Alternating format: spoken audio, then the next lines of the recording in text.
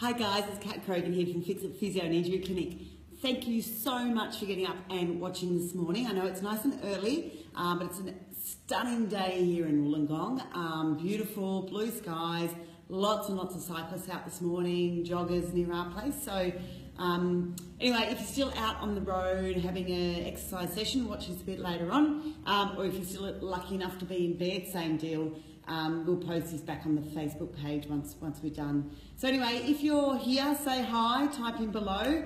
Um, and I'm super excited to be able to share this skill with you. This is something that you can do at home, you can do at the gym, or you can also do if you're away, okay? All you need is your trusty roller. So anyway, type in below if you've had back pain in the past. Just write back pain. That's it, great. Chuck it in. Hi, how are you going? Type in below who you are so I can say hello.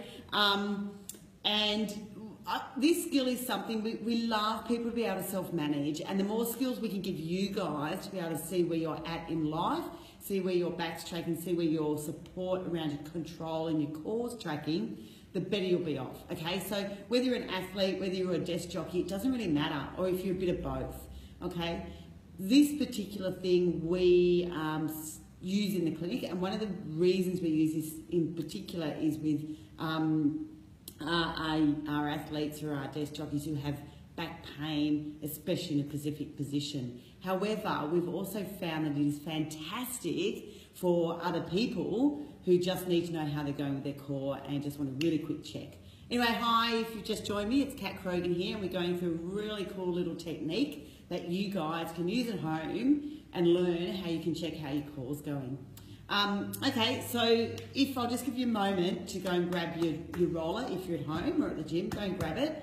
Um, whilst you're grabbing your roller, I just want to do a big shout out to Rookie in Wollongong. Um, went out to dinner there last night for their street food menu. Awesome, amazing, you guys have to go. Okay, you're back. All right, here we go. Grab your roller. Now, um, if any of you have been in here with back pain or needing some core control, you would have been given an exercise in what we call four point kneeling. Obviously four points because it's got one, two, three, four points on the ground, okay? With four point kneeling, obviously this can be done in a good position where I am or it can be done in a poor position like this. Hi, if you've just joined us, it's Kat Krogan here going through this fantastic, cool technique. So if you, if you join me and you've got a roller sitting there, go grab it and come and have a go at this whilst we're doing it. Okay, type in below hi if, you, if you're with us. Um, okay, so what you want to do in this position is have your back in a neutral position. So your lumbar spine should have some curve there. It shouldn't be completely flat, okay? So nice little curve. And then what you want to think about is with your belly button, drawing that belly button up there, you're pulling it with a little bit of string, okay? So that that's nice and firm. Okay, so this is your neutral position in four-point kneeling. Just give that a go first of all. So in this position, breathing out, Letting that tummy sag and then slowly, slowly bringing your belly button up, but not moving anything else. Not moving your lats, not moving your lower back, just that position. Okay, then get your trusty roller. And you want to put your roller across your back. Okay? I'll wait until you've done that.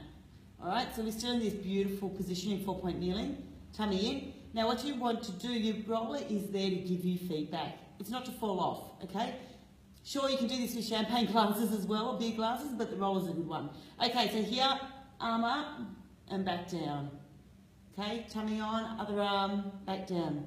No roller movement. Now, if you're not controlling well, what will happen is that the roller will roll off the bottom if you start to tip up, or the roller can drop off to the side, okay, if you're coming and you're twisting your hips.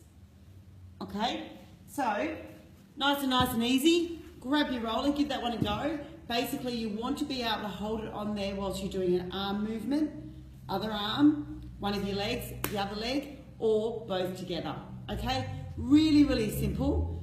Get your roller, keep it on your back, and it's just gonna make you, um, it's really quick, really simple, but it'll give you a good idea of how you're going, how well you can control that midsection of your body whilst you're doing a movement pretty low level. Um, you'll be able to do this even if you're if you're at um, if you've had lots of back pain. If anything, you're the guys that really need to get in and do this one. So anyway, there you go. That's my Thursday tip. Um, make sure you comment, like, share. Um, any questions at all, let us know. Um, even if you want a little bit more explanation on that, I can do that for you. So thanks again for watching. Have a fantastic Thursday. Um, and hopefully your run into Christmas is a good one. Okay, thanks a lot. See ya. Bye.